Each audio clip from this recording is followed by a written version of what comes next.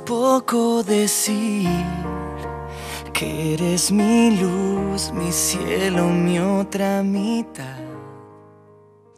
Y por eh, no por relación, eh, en realidad empecé a estudiar un curso de extraccionista y haciendo las prácticas eh, me empezó a, picar el bichito para indagar un poco más sobre el tema de la salud, el tema de ayudar a la gente, eh, un poco más por ese lado.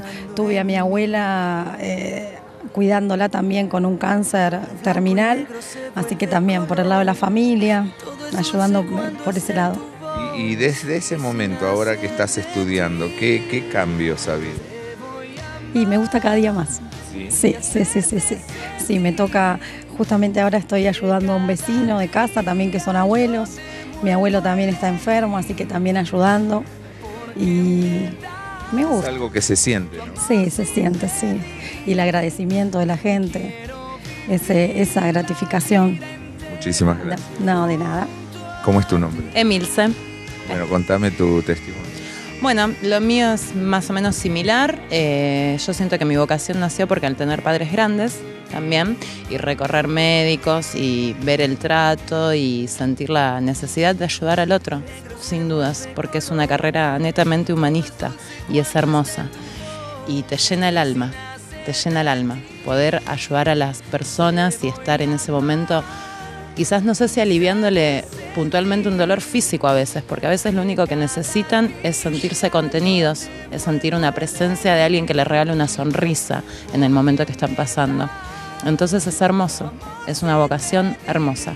Muchas gracias. No, por nada. ¿Cómo es tu nombre? Mi nombre es Florencia, eh, tengo 18 años y en realidad lo nuestro, lo mío en realidad salió de mi familia, que tengo mi prima, mi abuela que son enfermeras y como decían, como decían mis compañeras, es verdad, o sea, lo lindo de la carrera está bien el conocimiento, pero también es poder aplicarlo y el hecho también de relacionarse. Estar en lo que es, que en los lugares que me tocó, clínica, por ejemplo, clínica de hombre o cirugía, y poder, o sea, saber la patología que tienen, pero ir más allá también, conocer qué es lo que les pasa, por qué están así, o acompañarlos en las tristezas y como ayudarlos a que como que, que, sigan viviendo, que hay algo más por qué seguir luchando y es como un acompañamiento. Ustedes serían, se sienten como un motorcito de ellos, digamos. Sí, sí. Es como saber, aparte, a la vez, no solamente nosotros los ayudamos a ellos, sino que ellos también nos ayudan a nosotros, porque vamos con las ganas de decir, bueno, vamos porque para alguien vamos a servir.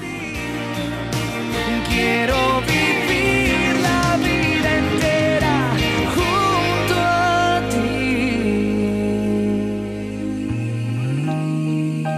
Es poco decir que en un beso tuyo siempre encuentro mi paz.